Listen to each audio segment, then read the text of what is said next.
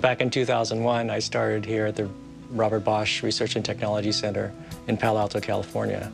And I think it's uh, kind of the best of both worlds. You've got corporate backing and you've got a small working environment.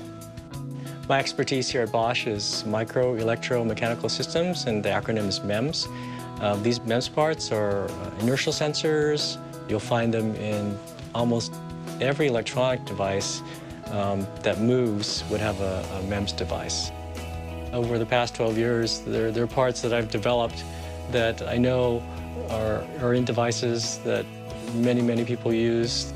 Dishwashers, power drills, uh, uh, clothes dryers, uh, coffee makers, uh, you name it.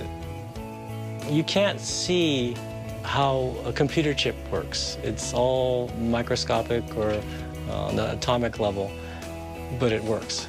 And I think that's fascinating to me. Every day is, is kind of challenging, and it's something new.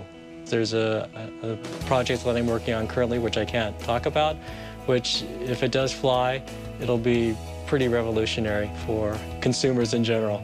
And that's about all I can say about that one. Another thing that I think is really, uh, I'm kind of proud of is I got the uh, Idea of the Year for 2011. And uh, this was a worldwide uh, competition.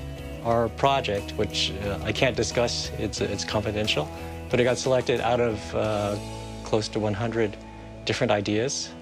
Hopefully, in five or less than five years, you'll, you'll be able to see it.